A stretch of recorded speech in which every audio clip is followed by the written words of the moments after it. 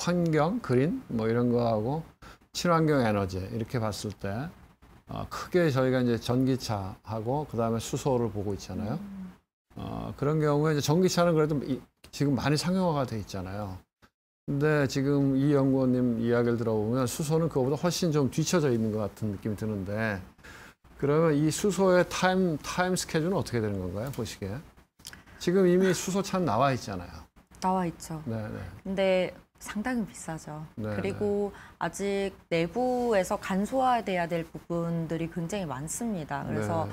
어, 사실 뭐 이게 당장 수요로 늘어나는 부분에 있어서는 전기차가 당분간은 대세겠죠. 아무래도 이미 어, 가격도 그래도 네, 많이 네. 점점 다운이 되고 있는 상황이고 네. 기술 개발도 어느 정도 마무리가 돼서 일부에 대한 기술 제외하고 나머지는 표준화된 기술들도 꽤 있는데 네.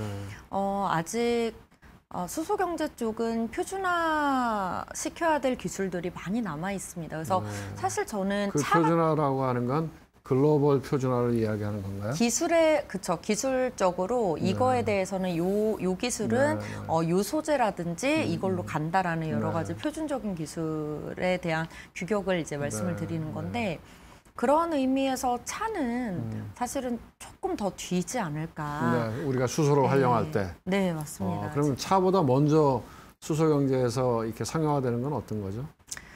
아, 우선 상용화라고 말씀을 하시면은 상용화야 네. 저 발전용 연료전지도 상용화가 돼서 이미 네. 우리나라에도 수소 충전소가 마- 아, 수소 연료전지 발전소가 많은 상황이고요. 네. 그리고 뭐 차도 지금 말씀하신 것처럼 상용화돼서 판매가 되고 있는 상황이고 네, 네. 이렇긴 하지만 이제 본격적인 개화다라고 그렇죠. 하는 네. 그런 느낌으로 네. 가기 위해서는 제일 처음에는 수소를 운반하는 운송이 먼저 시작이 돼야 네. 된다고 생각을 해요. 그 네. 운반, 그러니까 자동차에서 움직이는 그, 그 운송 말고 네, 어, 네. 수소를 우선 생산을 해서 그걸 받아서 그렇죠. 충전소에 옮기는 그 네. 다양한 용기들이 있어요. 네. 그러면은 우선 용기가 가장 기초가 돼야 되겠죠. 그래서 우선 수소를 기체로 다룰 것인지 네. 액체로 다룰 것인지에 네. 대해서 어, 어디로 간다라는 것이 아니고 투트랙으로 가게 됩니다. 네. 결국에는 차 안에는 무조건 기체예요. 네. 이게 정해져 있는 흐름이 있죠. 그래서 네, 네. 차 안에는 무조건 기체로 가야 되고 네. 충전소 안에도 차에 결국엔 기체로 가야 된다면 충전소 네. 내부에도 기체의 용기는 있어야 되고 네. 근데 운송을 하는 데 있어서는 그나마 수소를 한 번에 많은 양을 싣고 가야 수소 생- 생산 단가를 낮출 수 있기 때문에 음. 네. 그 운반하는 운반체는 또 액화 용기가 음. 필요하고 그래서 어쨌든 수소를 운반하든 네. 저장을 하든 요게 기본이 돼야 되잖아요. 그래서 지금 용기가 저는 먼저라고 생각을 하고요. 네. 모든 생태계에 걸쳐서. 음. 그래서 액화 용기 같은 경우에는 액화 수소를 아- 아직은 본격적으로 하고 있질 않습니다. 이게 여러 가지 문제점들이 있기 때문에 아직은 기체 용기 중심이고 그렇다 보니까 이제는 튜브 트레일러를 통해서 어쨌든 이 통은 똑같아요. 이 네. 탄소 섬유라고 하는 핵심 소재를 가지고 수소 기체를 이제 저장을 하게 되는데 요걸 가지고 이제 운반을 하고 최대한 높은 압력으로 많은 양의 수소를 담는 요런 기술이 지금 점점 더 개발이 되고 있다. 그리고 여기는 어느 정도 자리가 잡혔다고 저는 생각을 네. 하고 있습니다. 그러면은 그 지금 말씀하신 대로 이제 수소를 운반하는 그 운반 운반 기구 뭐 어쨌든 그런 운송이 되게 중요하다고 하는데 그럼 이거 관련돼 갖고서 지금 관련된 기업들도 몇 개 여러 개 있을 것 같은데 그죠? 지금 준비하고 있고 기술 개발하고 있고 이런 데는 음, 어디 어디가 있습니까 우리나라에는? 기체 용기 같은 경우에는 네.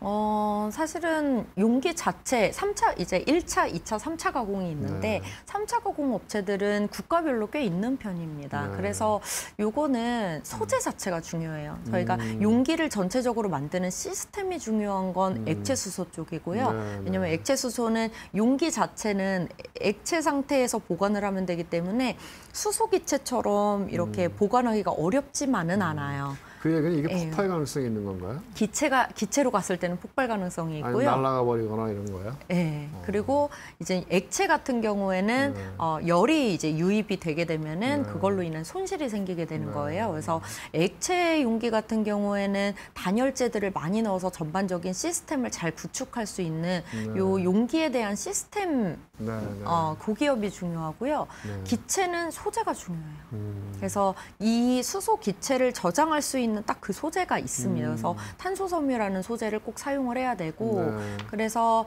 어, 전체적인 삼차 가공을 시스템 전반적인 기체에 대한 시스템을 만드는 기업은 우리나라의 뭐 일진 하이솔루스 최근에 이제 IPO를 했고요. 네. 그런 기업도 있고 중소기업 중에는 이제 NK라고 하는 기업이 네. 있고요. 그리고 뭐 하나솔루션 쪽에서도 인수한 음. 시마론이라는 기업도 있고 음. 뭐 다양하게 있습니다. 뭐 등등. 근데 이제 그 안에 핵심 소재를 어, 공급을 하는 기업은 음. 우리나라에는 유일하게 이제 효성 첨단 소재가 있습니다. 아 그래요. 예. 그, 게 되게 중요하겠네요. 그러면. 네. 네. 아무래도 수소 생태계가 네. 앞으로도 변화가 많고 네. 기술적인 변화들이 계속 진행될 때마다 네. 사실 투자해주는 입장에서는 리스크를 그만큼 지고 가는 거예요. 그렇죠. 왜냐하면 시간이 네. 많. 지금 얘기 들어보면 그게 돈을 벌 때까지는 시간이 많이 걸- 걸릴 것 같은데요. 그렇기도 하고 네. 갑자기 어떤 기술이 더 좋다더라면 갑자기 체인지가. 돼버리고 네, 네. 이런 상황들 때문에 사실은 없어지지 않으면서 음. 지속 가능하고 어, 경쟁사가 많지 않은 음. 진입 장벽이 높은 쪽